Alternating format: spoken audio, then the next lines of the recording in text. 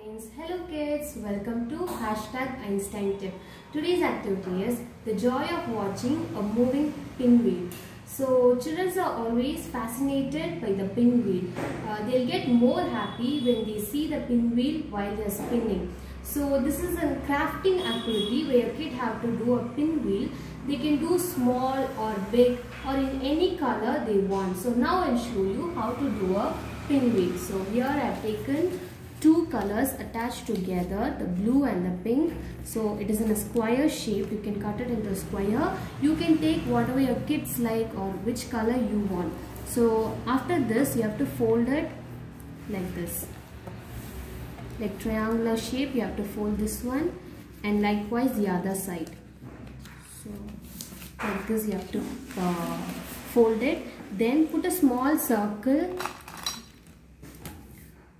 put a small circle inside the paper. And then take a scissor and you have to cut through the foldings. So four foldings we got here. Four lines you have to cut. Till the circle you have to cut straight. So be careful. Don't go inside. You should leave some gap. For that and we have drawn a circle there so you have to cut through the lines like this.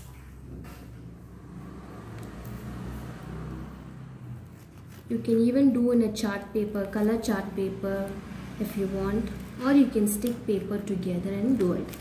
Yeah so four sides I have done cutting and now we are going to fold and show you how. So this corner you have to pull it inside like this. It should come inside and take glue put it in the middle and stick it off.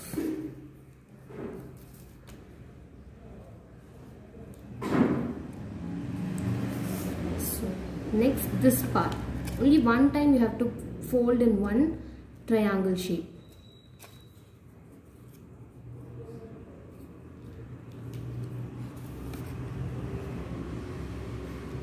Next this one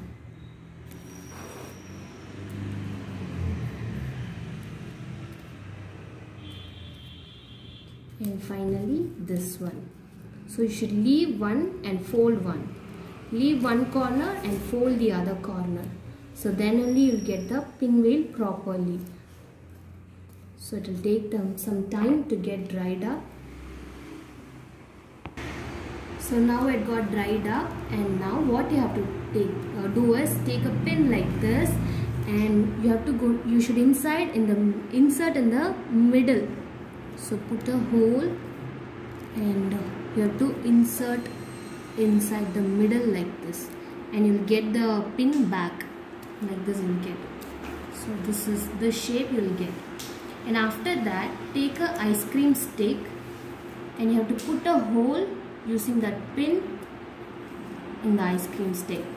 So see it will be like this. And for safety purpose you can put a rubber behind this because it will be little sharp so you can use this rubber band sorry rubber. That's it. See our pin got ready.